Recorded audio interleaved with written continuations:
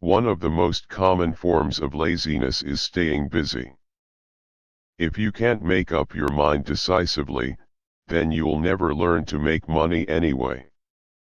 Well, keep that attitude and you'll learn nothing. Keep the attitude that I'm the problem and what choices do you have? Well, if you don't pay me more or show me more respect and teach me, I'll quit. Well put, Rich Dad said. And that's exactly what most people do. They quit and go looking for another job, a better opportunity, and higher pay, actually thinking that this will solve the problem.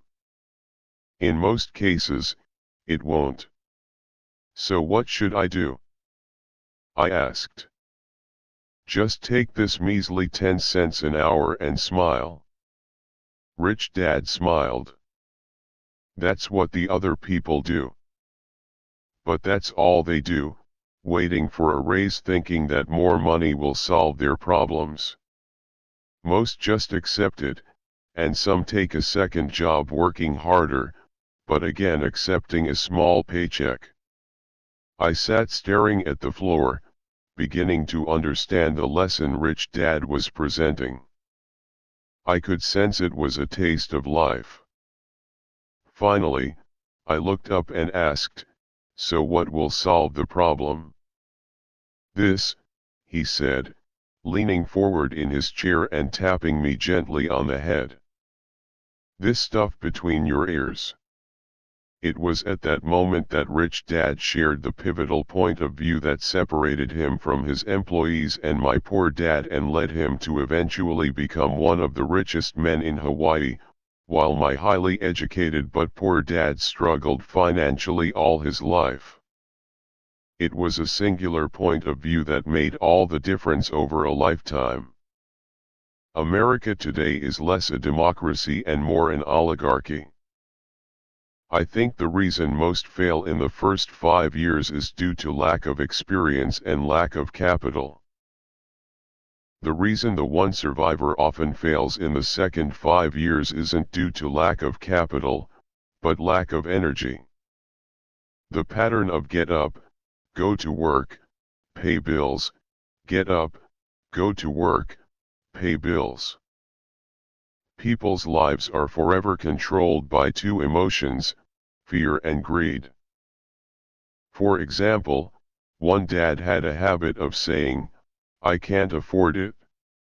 The other dad forbade those words to be used. He insisted I ask, how can I afford it? One is a statement, and the other is a question. One lets you off the hook, and the other forces you to think. If you take on debt personally, make sure it's small. If you take on large debt, make sure someone else is paying for it. Learn. Unlearn. Relearn. As a person who has looked at the world from both the left and the right sides, I can honestly say the world looks much different depending on which side you are on. I know many people who are poor because they are neither good students nor good teachers. The single most powerful asset we all have is our mind. If it is trained well, it can create enormous wealth seemingly instantaneously. An untrained mind can also create extreme poverty that can crush a family for generations. In Many of you were given two great gifts, your mind and your time. It is up to you to do what you please with both.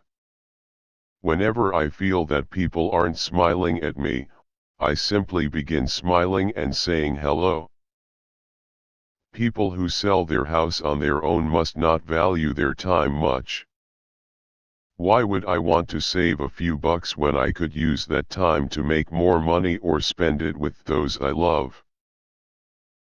What I find funny is that so many poor and middle class people insist on tipping restaurant help 15 to 20%, even for bad service, but complain about paying a broker 3 to 7%. They enjoy tipping people in the expense column and stiffing people in the asset column. That is not financially intelligent.